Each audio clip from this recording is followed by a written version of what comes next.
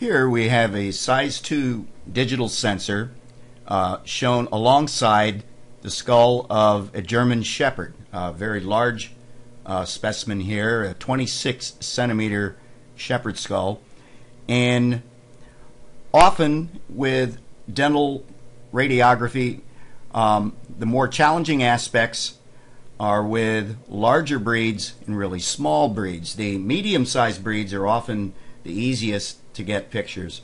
So we're going to look on this very large skull at how we would get radiographs on the various teeth. So starting off on the mandible, we're going to go to the area of the mandible which is where you can see the sensor is placed all the way back and as far down as we can get in order to hopefully get the apexes here of these teeth.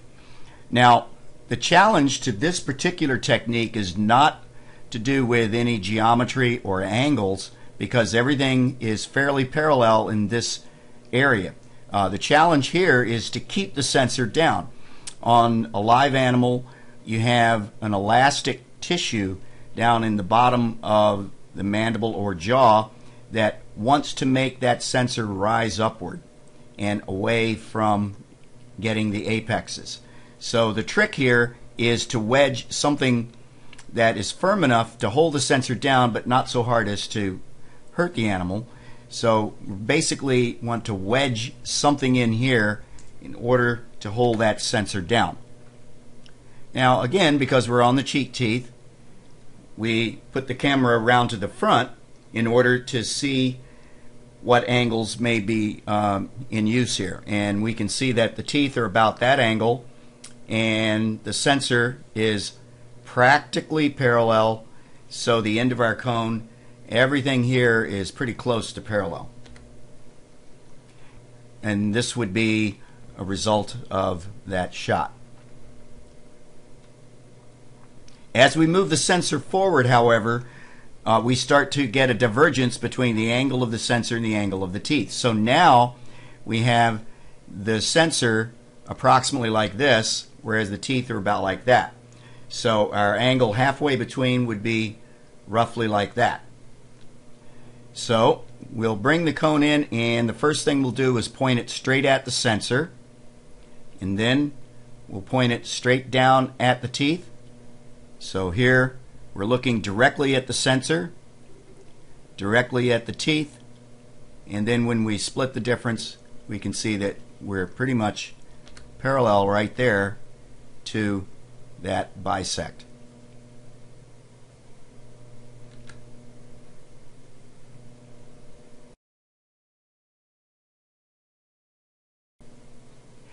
Moving to the upper arcade, we are going to go for the upper fourth carnassial and molar 1. And if we're lucky, we might even get molar 2 all in the same shot. This is very large. We want to maximize the use of the sensor by putting this edge as close to the crowns of the teeth as possible and the other edge will be up against the palate. So, again, because we're on the cheek teeth, we're looking at, we need to see the angles of these side teeth we can't see them from the side, so we'll put the camera around front, and then it becomes clear that this is the angle of the teeth, and the sensor is at that angle, so somewhere halfway is about there. So, again, uh, same thing, we point straight at the teeth, and then we point straight down at the sensor. So we're looking at the teeth, straight at the sensor and we split the difference and we're pretty close to parallel to that line.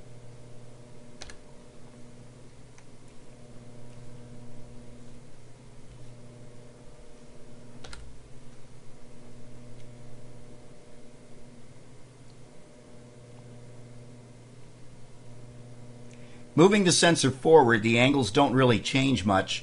We still have the teeth at about that angle, the sensor about like so, and halfway between, something like that. So here we might be um, looking fairly close to the bisect. I'm a little bit off on that one, as you can see. I'm actually looking more at the sensor there.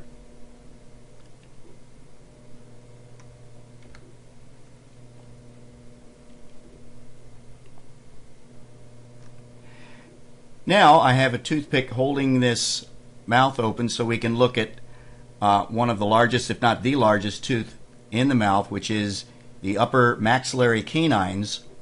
Here would be the apex of the canine. Here would be the crown. The theoretical angle of this tooth is a straight line between the apex and crown, which would be that. However, this part of the tooth is closer to vertical and this part is closer to horizontal. And for me, this is the main region of interest up here near the apex that we want to capture. So I would suggest bringing the x-rays straight down vertical as viewed from the side. So vertical to the muzzle as viewed from the side. Now when we put the sensor in place, in an ideal world, the sensor, with us being in sternal recumbency here, the sensor would normally in an ideal world be horizontal. But that's very difficult, if not impossible, to uh, always achieve.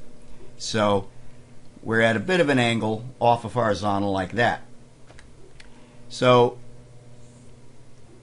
here we have the apex of that canine and if we were to come down vertical as viewed from the front as well we might get that apex superimposed on some of these premolars here. So they may uh, be on the apex of that canine. So in order to separate and make sure that the premolars are not superimposed on the apex of the canine, we're going to bring the tube in at about 1 o'clock as viewed from the front. And what this should accomplish is that the x-rays hitting the apex here should cast the image across to the far side of the sensor and the x-rays coming through the premolars here are going to record them on the other side of the sensor. So we would then see something like this as a typical radiograph of that, this being the 204 uh, upper canine. Cool thing about this is all we have to do to get the 104 is move the sensor over to here and come in with our x-ray at about 11 o'clock. And we would uh, get the same thing on the 104. So this works fairly well for that.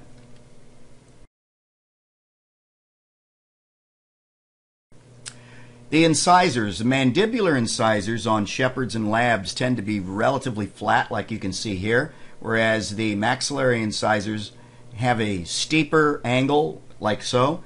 Just seems to be the case with uh, boxers and pit bulls that their mandibular incisors are much closer to the same angle as the upper incisors. But not so the case on uh, Shepherds and Labs and so forth. So here we have the sensor at about that angle the front teeth at about that angle. So again, if we come in and we point the x-ray first straight at the teeth and then straight down at the sensor, we look at the teeth, we look straight at the sensor and split the difference. There we have it. Pretty much parallel to the bisecting angle. Notice here we have a root fragment for what I believe should be the 203 incisor.